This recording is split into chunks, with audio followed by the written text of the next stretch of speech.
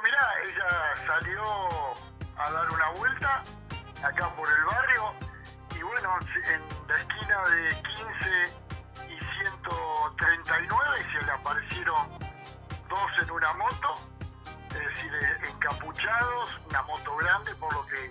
describió, le demostraron como que tenía un arma debajo del buzo y bueno, la, primero le, arrancaron una pequeña mochila que tenía, la tiraron ahí al pasto, se golpeó bastante y, bueno, justo se llevaba la perra con la, correa y después la, pechera, se la arrancaron, subieron a una moto y salieron disparando. Yo después le avisé a, a policía que andaba por la calle 21, la descripción de la perra, por si la dejaban tirada por ahí. Pero bueno, hoy a la tarde estuve toda la tarde dando vuelta por acá por la zona, por la 21, por eh, Barrio General Belgrano, Villa Mitre, Estación de Ranela, eh, Hospital,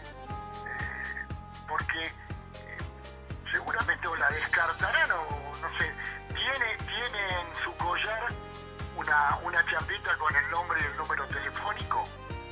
El nombre es Lola, es un perro mediano, blanco y negro. Eh, es un, perro, no, no, no es de raza, es un puro perro, no, no tiene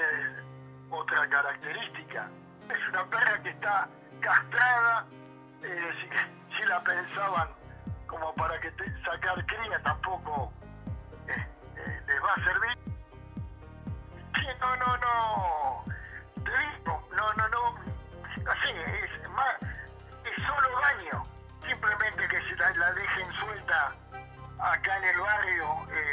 seguramente un vecino cercar, un animal que uno